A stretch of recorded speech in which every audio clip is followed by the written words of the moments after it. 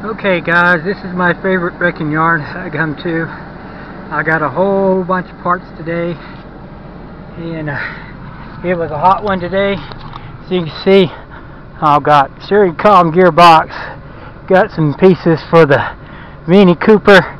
Uh, one piece I was after, it was all broke up so it wouldn't have done me no good. Uh, I'm going to relook at the Mini and see maybe if I can fabricate it and maybe make it work, but I don't know. But anyway, uh, that's all for today. As you can see, I'm wore out and uh, lost kind of the voice. It's a hot one today here in Old Texas. But anyway, I'm going to get out of here, get home, get cooled off. Got me a bottle of water. Hopefully I'll cool off. As you see, I kind of sweated today. Anyway, that's all for today from all the King's horses. Thank you for watching.